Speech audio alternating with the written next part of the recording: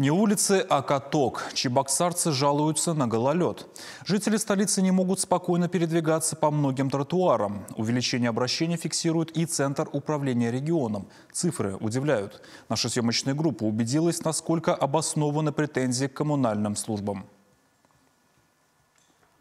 Нередко на гололед жаловались жители юго-западного района, особенно те, чьи дома расположены возле Дворца культуры «Салют». Однако перед приездом нашей съемочной группы здесь удивительным образом появилась техника и целый наряд работников Дорекса, чему местные очень удивились. Обычно тут приходилось ходить с опаской, было очень скользко. Я крайне удивлена, то, что сейчас вот чистка территории идет вообще прекрасно, конечно. До этого, конечно, было очень скользко. Э, держались практически за воздух, чтобы дойти до ДК. Очень скользко везде. То есть не только здесь, но и во всем городе. И к больнице, и от дома путь. Правда, уже на другой стороне улицы участки, нетронутые ломом коммунальных работников, тоже обнаружились.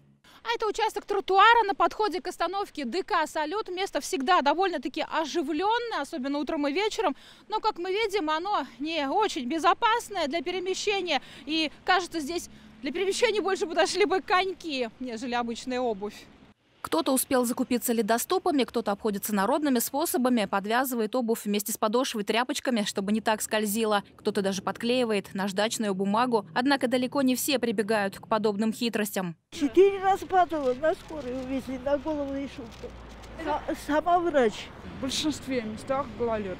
Я однажды даже с ребенком шла и, и упала. Нам приходится очень тяжело шагать нам, пожилым людям. Вот хочу сказать, чтобы почистили. Администрация об этом пускай думает. Один раз упал.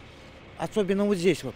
В Центре управления регионом отмечают, в этом году обращений по гололеду на тротуарах и во дворах гораздо больше, чем в прошлом. Только с начала года поступило 862 сообщения с жалобами на скользкие улицы. Больше всего жаловались граждане, проживающие в городе Чебоксары, Алатырь, Новочебоксарск, а также Ядринском и Чебоксарском районах. Вот э, из последнего поступила только что буквально э, жалоба от жителей улицы Гагарина на тротуар, который полностью превратился в каток. В муниципалитетах Чувашии тема неочищенных от льда дорог тоже актуальна. В сети распространяется видео, где девушка рассекает по деревенской дороге, похожей на каток, на коньках. Люди регулярно выкладывают в социальные сети фото и видео доказательства гололеда, обращают внимание на неочищенные внутридворовые площадки, колеи на дорогах, некачественную уборку, парковок. Поступают подобные обращения через портал госуслуги. С начала января 217 жалоб.